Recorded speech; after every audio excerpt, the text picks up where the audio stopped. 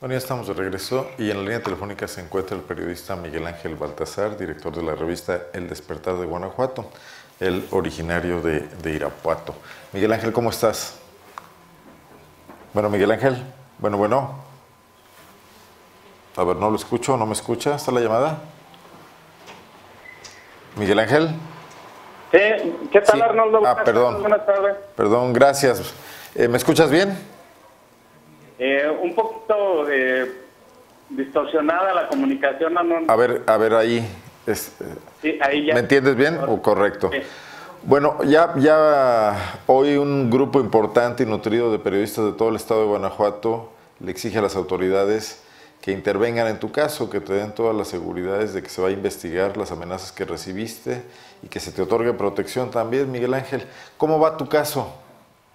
Así es, Arnoldo, pues antes que nada agradecerle a todo el gremio periodístico, no nada más eh, medios eh, estatales, sino nacionales que se han unido a esta pues inconformidad que sucede no nada más en Irapuato, sino en gran parte del estado y del país. Gracias a todos ellos y en especial a la zona franca. Pues, pues ahí va, Arnoldo. Eh, te comento que desde la semana pasada eh, por ahí se comunicó gente de la Secretaría eh, de Seguridad Ciudadana, tanto del municipio de Irapuato, así como de las Fuerzas de Seguri- Seguridad Pública del Estado. Sin embargo, solo fue eh, algo vía telefónica. El día de hoy nos hacen llegar a través de un correo electrónico unos números de teléfono por parte de las Fuerzas de Seguridad Pública del Estado, donde pues nos piden que ah, en caso de tener al- algún incidente o que, o que de alguna manera corramos peligro, pues llamar a, ese número. La, la gran pregunta es, Arnoldo, pues o esperemos que en ese momento nos dejen el celular, porque pues se me hace difícil. Porque te contesten en el 911, que luego no te contestan Ah, nunca. exa- exactamente, porque... Derechos eh, Humanos eh, no ha intervenido, Miguel Ángel, pidiendo medidas precautorias de protección. Exact- exactamente, porque hay que recordar, Arnoldo, que pues lamentablemente el 911 no es lo que nos han vendido a todos los ciudadanos eh, guanajuatenses, que es un, eh, un sistema de alta tecnología y que, y que atiende las llamadas de emergencia, pues queda claro que no, que no, que no es así.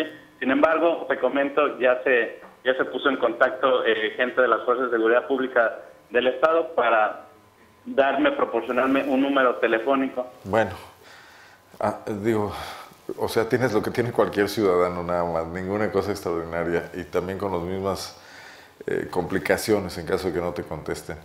Oye, pero la- ¿avanza la investigación? O sea, te- ¿la Procuraduría se ha, se ha puesto las pilas? comunicación. ¿Perdón? No, no escucho bien la comunicación, Ah. Arnoldo. ¿Se, comun- se- se avanza la investigación de la denuncia que presentaste en la Procuraduría de Justicia? No, no ha habido, no ha habido tal avance, no, no me han vuelto a requerir este, ante la, ante la subprocuraduría en este municipio. Eh, fue el martes, el día que hice la reconstrucción de hechos, que por supuesto ya, ya me eh, comentaban que habían pedido este, los videos por parte de la Secretaría de Seguridad Ciudadana para de, eh, de alguna manera tratar de dar con los responsables de esa persecución. Sin embargo, pues ahí está eh, varada la, la, la denuncia o la investigación, ya que pues no, no, no he tenido respuesta alguna. Eh, eh, la semana pasada cuando terminamos lo que es ahora sí que la reconstrucción de hechos, me comentan que ellos se comunicarían conmigo para darme avances de lo que es la investigación. Sin embargo, pues sigo, sigo esperando, Arnoldo.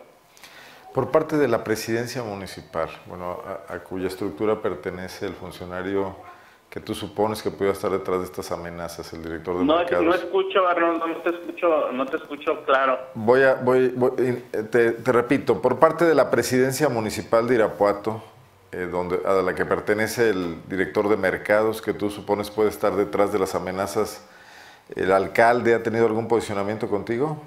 No, no, en- hasta este momento no. El lunes me habló el secretario de Seguridad Ciudadana, eh, Samuel Ugalde García, donde pues se ponía de alguna manera a, a las órdenes para, para lo que necesitara. Sin embargo, él me comentaba que en ese momento se encontraba en una reunión en León, por lo que no, no se podía entrevistar conmigo personalmente. Sin embargo, envió a un elemento, a, un- a una este, comandante que se hizo presente y pues lamentablemente y es de es como de burla, suena de burla Arnoldo porque cuando tengo enfrente a este elemento me dice, hijo, no te quisieron matar porque te hubieran querido matar, ya lo hubieran. Oh, o sea, no, o no, sea- no considero que hayan sido palabras de, pues, de alguien que está a cargo de la seguridad de los irapatenses. ¿Tú has recibido otras amenazas después de las, de las que platicamos? Hasta el día de hoy no, todo, ha transcurrido con normalidad. Sin embargo, pues, sigue el temor, sigue el miedo de salir a las calles que, que de que en, algunos, que en algún momento puedan atentar pues, en contra de mi integridad. ¿Esto ha afectado a tu trabajo?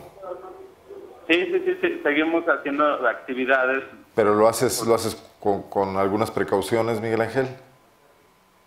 No te escucho. Tú, a la hora de trabajar ahora y de continuar armando tu revista y reporteando, ¿tomas algunas precauciones especiales? Sí, por, su- por supuesto, ya por ahí tomamos algunas, algún otro tipo de medidas, ya no, no, no circulamos por las mismas calles que era habitual. Eh, por ahí me hicieron favor también de, de proporcionarme un vehículo diferente para no ser detectado. Entonces, de alguna manera he tomado pues esas medidas para pues, evitar algún atentado en contra de mi O persona. sea, a ti ya te afectó tu trabajo, esta situación. Así es.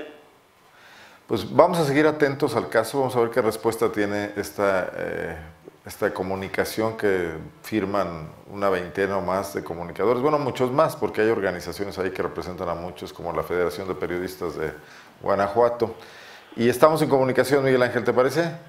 Muchísimas gracias, Arnoldo, y nuevamente reitero mi agradecimiento a todos los colegas, a todos los medios de comunicación, en especial en Zona Franca, por darle por la cobertura a este tipo de situaciones y recordemos que si nos pegan a uno, nos pegan a todos. Así Gracias. es. Así es, y bueno, lo único que te han dado hasta ahora es un teléfono para que llames si te sientes amenazado, lo que no es mucho. Muchas gracias y con cuidado todo. Hasta luego.